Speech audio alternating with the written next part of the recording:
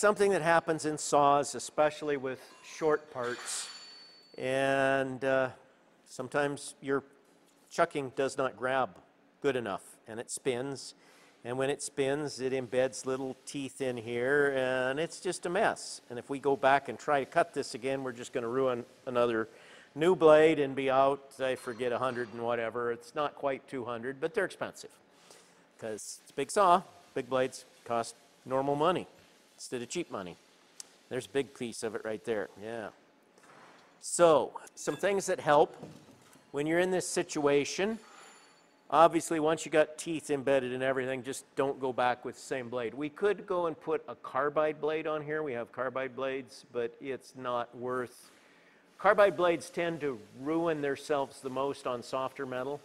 They claim you can use them at softer metal and turn up the speed and get more production. I have not seen it work for me.